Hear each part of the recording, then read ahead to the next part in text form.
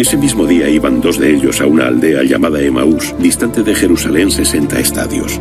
Conversaban entre sí sobre todos estos acontecimientos. Mientras hablaban y discutían, Jesús mismo se les acercó y caminaba con ellos. Pero sus ojos estaban incapacitados para reconocerle. Y les preguntó, ¿Qué pláticas son estas que tenéis entre vosotros? y uno de ellos, llamado Cleofás, Mientras camináis estando tristes. le respondió, ¿Eres tú el único en Jerusalén que no sabe las cosas que han acontecido en estos días? Él les dijo, ¿Qué cosas? y ellos le contestaron, Concernientes a Jesús Nazareno, que fue profeta poderoso en obra y en palabra ante Dios y todo el pueblo.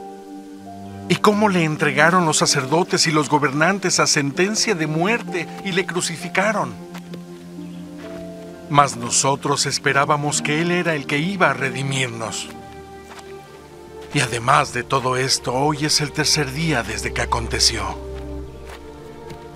Aunque también nos han asombrado unas mujeres de entre nosotros, las que fueron temprano al sepulcro.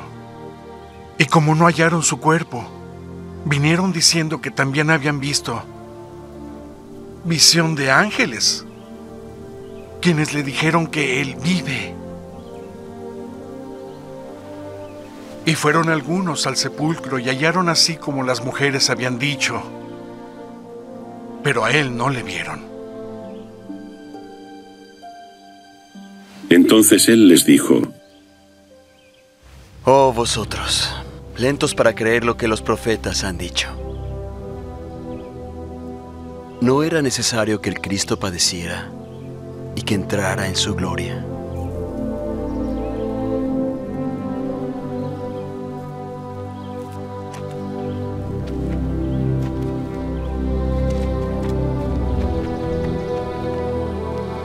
Y empezando por Moisés y todos los profetas, les interpretaba lo que hay sobre él en todas las escrituras. Y al acercarse a la aldea a donde iban, él hizo ademán de continuar. Quédate, porque se hace tarde y el día ya ha declinado.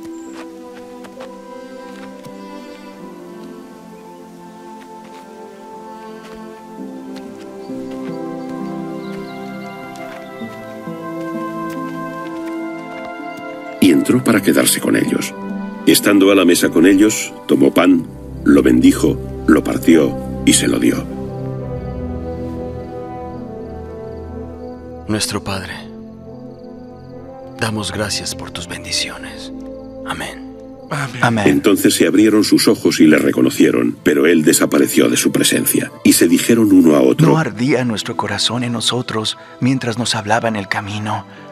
Y cuando nos abría las escrituras, Debemos regresar a Jerusalén ahora mismo. Al instante se levantaron y regresaron a Jerusalén, y encontraron reunidos a los once y a los que estaban con ellos, que decían, El Señor ha resucitado realmente y se ha aparecido a Simón. Y ellos contaron lo que había pasado en el camino y cómo le reconocieron en la fracción del pan.